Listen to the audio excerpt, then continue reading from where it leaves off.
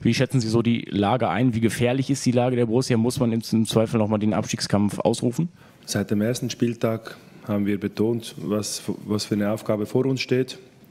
Mit Up and Downs immer wieder aufzustehen, neu zu orientieren am nächsten Gegner, ist unser, ist unser Weg, den gehen wir weiter. Hier hat niemand ähm, nach einem Sieg oder nach einem positiven Spiel ähm, irgendetwas aufgerufen, weder nach oben noch nach unten. Und das gilt es auch jetzt nicht zu machen, sondern besser zu spielen, besser zu spielen, bessere Resultate zu erzielen. Das war so gesehen dann ja schon ähm, ein absoluter Rückschlag, was die Stimmung angeht. Ähm, wie glaub, glauben Sie, dass Sie das noch mal drehen können? Weil die Fans waren ja enttäuscht, haben nachher dann gepfiffen.